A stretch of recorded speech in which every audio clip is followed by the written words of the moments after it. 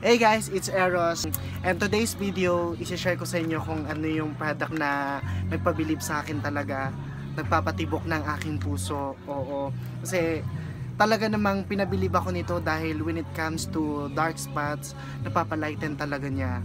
As you can see, wala akong suot na uh, any foundation, wala lang yan, oo. Ito yung normal na face ko po kapag ka wala akong ano, gamit. Kasi usually pagka nagtatrabaho ako Oo, naglalagay ako ng mga pampakonceal, mga foundation. So, sa hindi po nakakaalam, sa health and beauty product po ako nagtatrabaho sa isang sikat na health and beauty product. Sa customer ko na encounter ko, so ini-interview ko sila. Biglang may tao.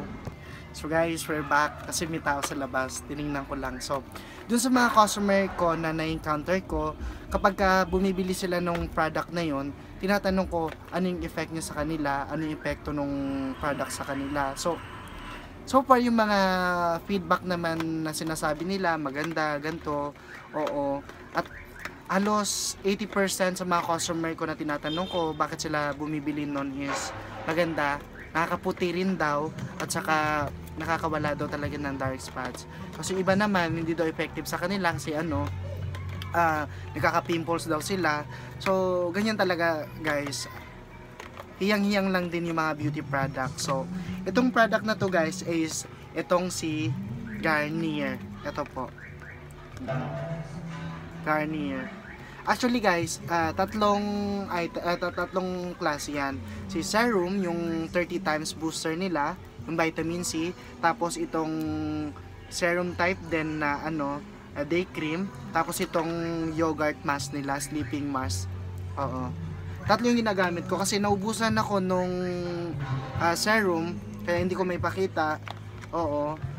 Natapon ko na yung bahay niya. So kanina galing ako sa labas, bumili na rin ako nito at saka unfortunately uh, naubusan si yung branch na pinuntahan ko o yung kung saan yung branch namin o yan tapos meron akong ano yung serum type na 30 times booster serum ito. Ito yung ginagam ginagamit ko. Yan. Tapos ayan. Ito, ito guys. Ayan. So, siguro guys, alam nyo naman kung paano to gamitin kasi, ano, ito naman si day, ito naman si night, oh, tapos ito serum. Pwede mo siya gamitin day and night, oo. So guys, yung experience ko dito sa product na ito guys is, as in, uh, two weeks na akong gumagamit nung serum type nila. Two weeks na akong gumagamit nung, ano, uh, Garnier nga, Garnier na product. Oo, so, napansin ko talaga siya effective talaga siya kasi dati dito ang dami kong dark spots dito as in dito as in marami. Oo. So napansin ko siya na naglalighten talaga. Gawa nung mga pimple marks ko dati kaya nagkaroon ako ng mga dark spots.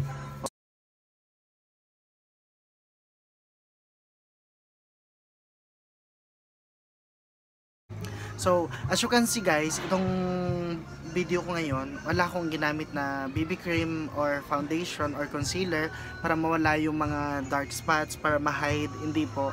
Totoo pong nawawala yung dark spots. So guys, itry nyong gumamit nito. Recommended kasi siya guys. Recommended ko siya. Maganda talaga siya. Itong ano, itong serum nila na 30 times booster ni Garnier na vitamin C as in ang ganda talaga niya kasi ano uh, napapansin mo talaga naglalighten yung skin mo pumuputi ka talaga nagwa-whiten o tapos yung pati yung mga dark spots mo nawawala mo nawawala talaga. Nalalighten niya I mean oo. So guys recommended siya i-try nyo siya. Oo. Pati itong ano nila kasi si whitening serum cream nila